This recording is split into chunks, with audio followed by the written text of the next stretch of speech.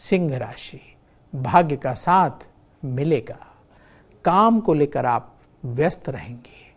आपके दोस्त मदद करेंगे। रुका हुआ पैसा मिलेगा। नए सिरे से रिश्ते शुरू होंगे। व्यापार में नुकसान हो सकता है। सावधान रहें। ज़रूरी टिप, कम बोले। शुभ रंग, मरून, उपाय।